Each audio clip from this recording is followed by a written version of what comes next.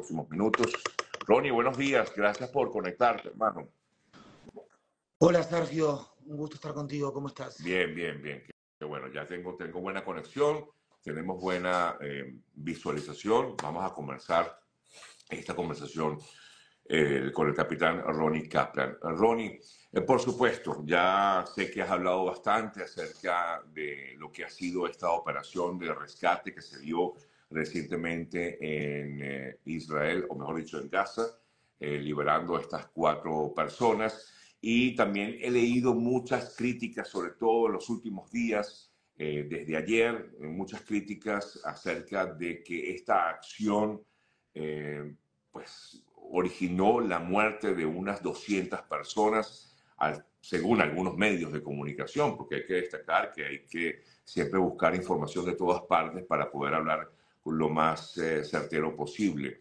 Eh, eh, te pregunto, y es lo que ahora me generó a mí luego de esta, este movimiento que ha habido, em, ¿qué va a pasar con el resto de los rehenes? ¿Van a ser rescatados de manera similar, Ronnie? Te comento, Primero que nada, eh, se lamenta profundamente la muerte de cada eh, persona civil, eh, sea en la franja de Gaza o sea en Israel. La realidad es que esto es una tragedia, la guerra es una tragedia, una tragedia que trajo sobre nosotros el Hamas y Hamas es responsable por todas y cada una de las muertes que hay en la franja de Gaza. si bien obviamente estamos hablando de una exageración, como ya la hemos visto una vez tras otra. Es parte de la narrativa del jamás, este tipo de exageración. Jamás quiere sobrevivir y la única forma que tiene para sobrevivir, que no sea desmantelado por nuestras fuerzas, es a través de la presión internacional hacia Israel.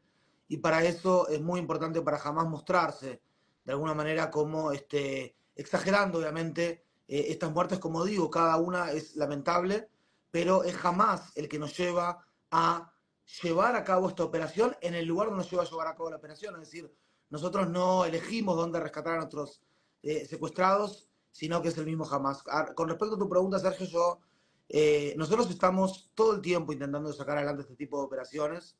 No son operaciones simples, son operaciones bien complejas donde muchas cosas en simultáneo tienen que suceder, hay muchos simulacros antes de ellas. Si podemos sacar adelante otras operaciones, obviamente que lo vamos a hacer, pero entendemos que eh, mientras seguimos luchando contra el Hamas, estamos creando mejores condiciones a la hora de sentarnos en la mesa de negociación, si es que nos volvemos a sentar en los próximos días.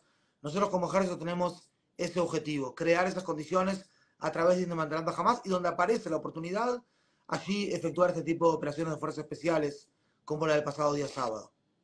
Ahora, eh, Ronnie, conversamos, amigas y amigos, con el capitán Ronnie Kaplan, vocero de la Fuerza de Defensa de Israel en español. Eh, Ronnie, una de las eh, noticias justamente relacionadas con este tema de lograr negociaciones. Se está hablando mucho ahora, que es la noticia del día, esta oportunidad que brinda, o mejor dicho, se habla en la ONU de la posibilidad de que se firme una propuesta de tregua o se logre una propuesta de tregua allí en la franja de Gaza. Sin embargo, leía también algunos comentarios eh, que hacía el ministro de Finanzas de Israel, eh, Bezalel Smotrich, eh, quien afirmaba que esto pudiera generar esta tregua, y quiero conocer tu punto de vista al respecto, esta tregua pudiera originar un suicidio colectivo.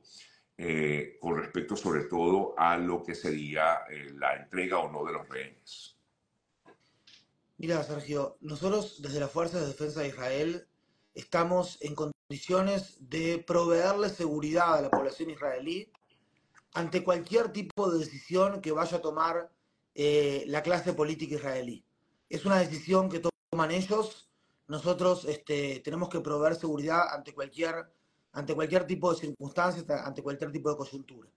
Ahora bien, eh, quien desee en este momento eh, una tregua total sin una devolución de los rehenes, de los secuestrados, es básicamente darle a Hamas la posibilidad de ganar esta guerra. Y que jamás gane esta guerra significa que no va a haber seguridad para los palestinos en la franja de Gaza, que nosotros queremos liberarlos del Hamas. No va a haber seguridad para los israelíes en Israel. Va a seguir esta inestabilidad en el Medio Oriente que jamás intentó degenerar el 7 de octubre y que lamentablemente logró y también va a hacer que otros grupos islamistas radicales de alguna manera vayan y imiten este tipo de eh, acciones de Hamas, eh, porque al fin y al cabo jamás se va a terminar saliendo con la suya. Cualquiera puede venir a una fiesta, como tú estuviste hace poco aquí en Israel, y este, secuestrar a seres humanos de sus casas, de fiestas por la paz, etcétera, y después este, el mundo le va a poner tanta presión a aquel que quiere liberar a sus secuestrados, que aquel que quiere liberar a sus secuestrados no va a poder hacerlo. Eso es algo que yo creo que no puede pasar. No nos puede pasar como mundo, porque de alguna manera esta no es una lucha solamente entre Israel y el Hamas en la franja de Gaza, esta es una lucha entre el mundo libre, representado por Israel, y el radicalismo islámico, representado por el Hamas, y básicamente estamos luchando por nuestros valores, que es lo que tenemos como sociedad occidental. ¿Creen ustedes que el resto de los rehenes secuestrados están eh, como estuvieron estos últimos cuatro en manos o escondidos por civiles en Gaza? Es, posible, es posible, es decir, jamás eh, se los dio a, civiles, eso es algo que hay que tenerlo en cuenta. A veces, Sergio, esto es algo que la gente no, no lo termina de comprender, pero son civiles en la franja de Gaza los que tienen secuestrados aparte de los eh, rehenes. El otro día eh, estábamos en el kibbutz Niroz y contábamos la historia de Nili Margalit, una chica de 41 años que fue liberada, fue secuestrada el 7 de octubre y liberada el día 52 de la tregua, el día 52 de la guerra, en el marco de una pausa operativa, que fue secuestrada por padres y hijos de en la franja de Gaza. Y luego fue vendida hacia la ciudad islámica palestina, fue vendida al grupo terrorista. Es posible que estén con civiles, nosotros sabemos que los mueven, los mueven de forma constante, lo que hace muy difícil encontrarlos dentro de la franja de Gaza y establecer esta imagen de inteligencia. El otro día, cuando ingresa la información de inteligencia que estaban en estos dos departamentos, por un lado los masculinos, este, Andrei, Shlomi Almog, por otro lado Noah, departamentos a 200 metros, entendimos que teníamos que hacer la operación urgentemente, les pueden llegar a mover de ahí y también hay que hacerla en simultáneo para que no maten a los del otro apartamento, aquellos que el, apartamento al que nosotros no, no, no, este, no liberamos, que no los maten en el otro. Eso es básicamente, y, sí, es muy probable, es muy difícil encontrar a los rehenes eh, eh, de, esta manera, se tienen que dar muchos... O sea que ya no es factible, tal vez te pregunto, que no es factible que estén en estos túneles que se han construido en Gaza. ¿O no descartas? cualquier posibilidad, cualquier opción. La realidad es que no descartamos ningún tipo de posibilidad. Obviamente que tenemos mucha información. La información se va acumulando a través de las, eh, los testimonios de aquellos terroristas que nosotros eh, encarcelamos, que nosotros aprisionamos y los interrogamos. También a través de los mismos secuestrados, que, eh, de, lo que ellos cuentan, obviamente es información confidencial, pero podrían estar en cualquier lado. Es prácticamente como perder un anillo, diría yo, en la mitad del océano y es muy, muy difícil recuperarlo. Ahora, con esta tregua que se plantea por parte de la ONU, que fue propuesta, en una propuesta hecha por Estados Unidos, sé que el gobierno está, digamos, el gobierno de Israel a favor y en contra, jamás tampoco da, digamos, eh, eh, se rinde, digamos, ante esta tregua. Eh, te, consulto, Ronnie, esta guerra ¿Cuánto tiempo va a durar por parte de Israel?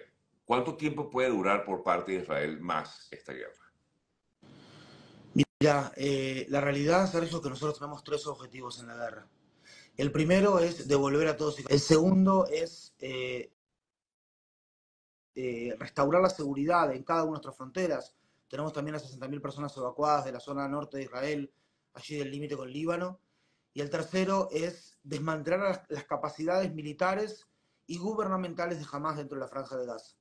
Yo sé que es difícil desde Occidente a veces concebir, porque una guerra tan larga, obviamente nosotros también preferiríamos luchar una guerra de seis días y jamás quisiese, devuelve mañana a los secuestrados, levanta eh, una bandera blanca y se termina la guerra. Realmente quien tiene el reloj de arena para esta guerra es el mismo Ige Sinuar. Pero nosotros no podemos dejarlos a nuestras próximas generaciones a nuestros hijos vivir junto o bajo el yugo de grupos terroristas que cometieron el ataque del 7 de octubre, la masacre del 7 de octubre, eso es algo que no puede suceder nunca más. Son grupos que nosotros no pensábamos realmente que lo que decía en su Carta Magna, que Israel existe y continuará existiendo hasta que el Islam lo elimine, así como ha eliminado a muchos otros, es algo que realmente estaban dispuestos a hacerlo, es algo que realmente estaban dispuestos a ponerlo en práctica y la realidad es que eh, y, estaban dispuestos, estaban, están dispuestos a mucho más que eso. Eh, Hamed Fathi, uno de los eh, líderes de Hamas, ha dicho que van a volver a cometer las atrocidades del 7 de octubre una segunda vez, una tercera vez y una cuarta vez, y yo no tengo ningún tipo de eh, razón para no creerle al Hamas en este momento. Sí. Eh, Ronnie, por supuesto es inevitable que surja este comentario eh, y yo te lo tengo que hacer porque inmediatamente piensa uno en estos inocentes que mueren en Gaza. Y de hecho Israel ha sido acusado eh, por, digamos, la opinión pública como no general, pero hay una gran parte que piensa que Israel está cometiendo actos de genocidio en, en la franja de Gaza. ¿Cómo puede minimizarse la acción militar en Gaza por parte de Israel, de Israel en el sentido de minimizar los, las muertes de inocentes? Claro, Sergio, mira, gracias por la pregunta. Eh, ante todo, si uno eh, no mira solamente las fotos, sino que mira también los facts, los datos, la data, y uno analiza la cantidad de eh, terroristas que hemos neutralizado en la guerra, nosotros hemos dado un número de más de 14.000 terroristas, hoy, hoy en día es un poco más de 14.500, como parte del total de muertos en la franja de Gaza, que repito, ojalá fuese cero muertos civil, pero es imposible cuando el ejército terrorista de Hamas se mimetiza dentro de la población civil. La cantidad de terroristas muertos por cada civil es la más grande en la historia de los conflictos en guerras urbanas como esta. O, en otras palabras, dándolo vuelta, la cantidad de civiles por terrorista muerto es la más pequeña. Eso muestra las claras en datos que Israel hace todo para disminuir el daño a los no involucrados en el conflicto, a los civiles y maximizar el daño a los terroristas. ¿Cómo? A través de ver, la necesidad militar de cada uno de los objetivos en los cuales operamos, a través de ver la proporcionalidad, que es la ventaja específica que se puede obtener al operar en un determinado objetivo frente a la cantidad de daño colateral que eso podría llegar a generar, y la distinción, como decía al principio, de distinción entre civiles por un lado y terroristas por otro intentando maximizar el daño a estos y minimizar el daño a los civiles. La realidad, Sergio, es que eh, estamos también, eh, eh, fíjate lo que pasó, por ejemplo, allí por octubre, cuando se dijo que Israel alcanzó la posición de un hospital, el Hospital Bautista en el norte de la Franja de Gaza, el Hospital Al-Ahli, habían 500 muertos. A los 48 horas, más o menos 72 horas, se hablaba ya de, de entre 20 y 30 muertos y no lo había hecho Israel, sino que lo había hecho la ciudad Islámica Palestina, y el Hamas tomó esa oportunidad para intentar decir, bueno, fue Israel el que hizo esto. La realidad aquí es que jamás no le queda otra que exagerar los números. La realidad aquí es que es el Hamas el que pone a los secuestrados dentro de casas de civiles y hay que pasar por muchos sitios civiles para llegar. Pero te quiero contar también a nivel táctico en la operación que nosotros teníamos eh, eh, eh, investigado, teníamos analizado por intermedio de inteligencia aérea dónde estaban los escuadrones de los guardias de Hamas que hacían la seguridad perimetral de esos dos departamentos. Nosotros eliminamos a decenas y decenas de terroristas cuando nos dábamos a la fuga junto con nuestros diamantes, junto con nuestros secuestrados, y al mismo tiempo Hamas empezó a disparar para todos lados. Si alguien que no repara la vida humana es ellos, eh, son ellos, y no cabe duda que hay decenas y decenas de muertos allí, in situ, en el área de esa escena, que fueron muertos por el mismo Hamas. Uno se pregunta cómo se puede evitar esto. Y la única forma de evitar esto es que jamás no secuestre por detrás a estos secuestrados y los ponga en la mitad de medios civiles. De hecho, este, uno de los secuestradores es un periodista del de Palestine Chronicle y también de Al Jazeera, que él es el mismo secuestrado y después parte de la prensa pseudo progresista europea dice, murió un periodista, realmente un periodista, pero este periodista es un señor que, que estaba secuestrando a su gente en su casa. ¿Me explico? Esa es básicamente la cuestión, Sergio. Ahora, ¿podrían estas, estas personas, estos civiles, me imagino, estar amenazados por, por el grupo jamás para cometer o hacer ese tipo de acciones, esconder a su gente en su casa? Eh, hay, algunos civiles, hay algunos civiles en casa que están amenazados, pero esta gente que tiene, a, que, que, tiene a personas en su casa junto con su familia, son a veces uno, uno claro, uno quiere como quien dice, este, eh, decir sí, son 100% inocentes. Ellos no son.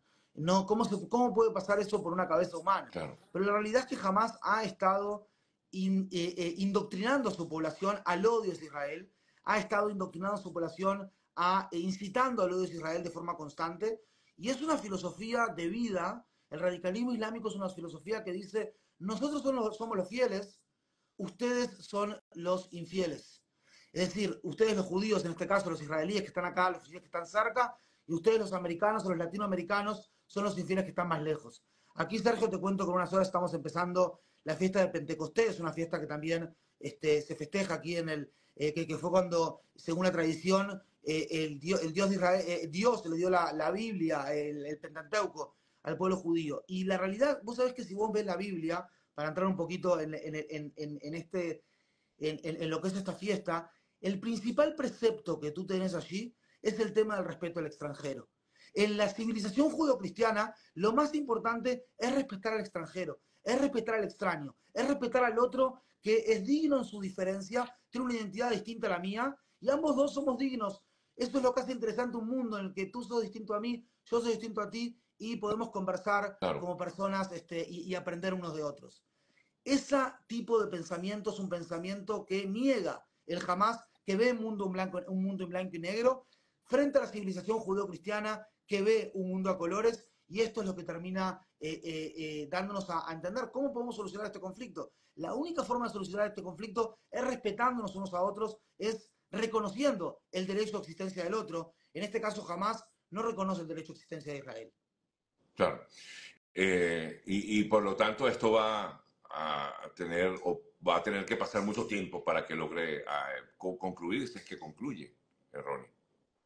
No cabe duda que sí, o sea, el islamo-nazismo que desarrolló el Hamas dentro de la franja de Gaza, eh, debe, debe ocurrir allí una desnazificación, debe ocurrir allí una, una, distinta, un, proceso educativo en el cual se piense distinto acerca de Israel y también Israel tiene que hacer lo propio, ¿verdad? Obviamente que este tipo de guerras generan exacerbaciones y existen también exacerbaciones desde nuestro lugar, obviamente que son el 1% o menos de lo que son del lado del radicalismo islámico, pero la solución al fin y al cabo, Sergio, como te decía antes, es una solución que pasa por la, por la educación, que pasa por dignificar al otro en su diferencia. Si jamás quiere establecer un califato sobre las ruinas y los escombros del Estado de Israel moderno, eh, en unión con distintos grupos asociados con Irán, eh, eh, que es chiita, asociados con la, con la hermandad musulmana, que es sunita, y ese es su objetivo final, nosotros como Occidente tenemos que pasar un proceso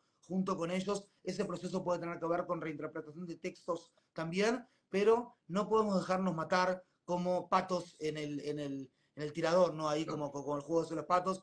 Y tú lo viste, Sergio, cómo asesinaron a 364 personas en la fiesta nova y en lugares como el kibbutz Niroz. ¿Quiénes fueron la gente que fue asesinada? Una persona como Oded Lifshitz. Ese señor Lifshitz, eh, perdón, que fue secuestrada, en este momento está secuestrado Oded, no sabemos si están vivos o no, no lo puedo confirmar o no, secuestrado, no asesinado. Oded era una persona que iba todas las semanas al cruce de Eres para que civiles de la franja de Gaza ingresen a Israel a pasar tratamientos oncológicos, tratamientos de diálisis en hospitales israelíes, y esos fueron los primeros que fueron atacados. Nos quiso decir jamás, aun cuando esta gente son la gente de la sociedad israelí que más está de acuerdo en la coexistencia con el pueblo palestino, nosotros no estamos de acuerdo bajo ningún concepto a vivir con un Estado judío al lado nuestro, porque desde el río hasta el mar, desde el río hasta el mar, toda esta tierra nos pertenece, como si no hubiesen, eh, como si no hubiese toda una historia por detrás y como si hubiese una legitimidad en el establecimiento de eh, un Estado judío y democrático en la tierra de Israel. Ronnie, antes de despedir, eh, voy a escoger, no sé, cualquier dos, dos, tres preguntas que salgan de nuestros amigos que están conectados por aquí. Alguien pregunta, ¿qué opina el capitán por tanto revuelo a nivel universitario, a nivel mundial, defendiendo a Hamas y, por ejemplo, no lo hacen por Ucrania? Me imagino que eso tiene que ver con las manifestaciones que ha habido en las universidades, sobre todo aquí en Estados Unidos y en algunos países de Europa. Mira, Sergio, durante muchos años hubieron eh, elementos con intereses políticos y otro tipo de intereses de desarrollar una industria de mentiras que está esparcida a lo largo y ancho del mundo occidental. Quien son los vehículos de esa industria de mentiras es una parte de la prensa internacional y una parte también de la academia. Lamentablemente esa industria de mentiras tiene mucho éxito, pero es un fraude. Es decir, el hecho de que Israel está haciendo un genocidio es un fraude, es mentira. El hecho de que Israel está haciendo una limpieza étnica es absolutamente mentira. La población árabe dentro de Israel, desde el año 48 esta parte, dentro de la línea verde creció 11 veces y en la franja de Gaza en Cisjordania creció 5 veces.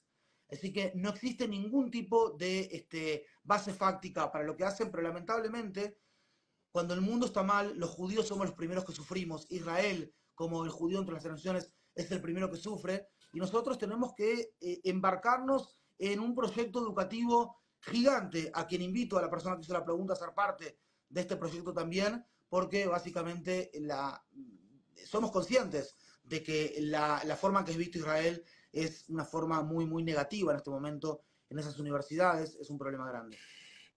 Eh, alguien comenta, la posición del entrevistado, Ronnie Kaplan, es su verdad, no, la, más no es la verdad real. Te consulto, ¿cuál es la verdad real, Ronnie? Bueno, no cabe duda que la gente ve lo que está preparada para ver, ¿no? Como decía el arqueólogo, el eh, antropólogo Boas, el enfoque de Boas, la escuela de Boas. Eh, quizás eh, la verdad tenga 70 caras y cada uno vea su, este, sus realidades, ¿verdad? Lo que yo puedo decirte, lo que le pregunto a esa persona es si acaso Dios no quiera, ¿no? A un fulano o un mengano, no a esa persona directamente. Llegan por tu hijo, llegan por tu hija, la violan. Hubieron 1500, 1500 denuncias de violencia sexual el día 7 de octubre aquí en Israel. Matan a 1200 personas dicen que quieren destruir eh, tu casa, tu estado, tu lugar, si acaso no tenés el derecho legítimo para la defensa. ¿Lo tenés que hacer según los estándares del derecho internacional humanitario? Claro que sí, definitivamente. No cabe la menor duda que se va a comprobar por encima de cualquier tipo de duda que Israel lucha según el derecho internacional humanitario. Le recomendaría a la persona también que no vea solamente la verdad que está en esta campaña de ingeniería de conciencia contra Israel, una campaña de ingeniería de conciencia que tiene elementos que van hacia los libelos, contra los judíos de la Edad Media, y hay todo tipo de, elementos así, de influencias por detrás. Pero sí, este, yo lo que le estoy comentando es la forma en que vemos esto desde Israel. Te agradezco, Ronnie. Gracias por, por, permitirme conversar contigo. Ronnie Kaplan, capitán eh, de las Fuerzas de Defensa de Israel y vocero en español para las Fuerzas de Defensa de Israel. Un fuerte abrazo. Gracias por toda la información y bueno, seguimos en contacto. Me preguntan aquí sobre el tema de Hezbollah. Creo que de eso lo pudiéramos tocar en otro momento, en otra ocasión, porque hay, hay bastante tema que hablar. Un fuerte abrazo y gracias, Ronnie. ¿sí? Con mucho gusto, Sergio. Estoy a tu disposición y gracias por tenerme tu espacio. Vale, fuerte abrazo.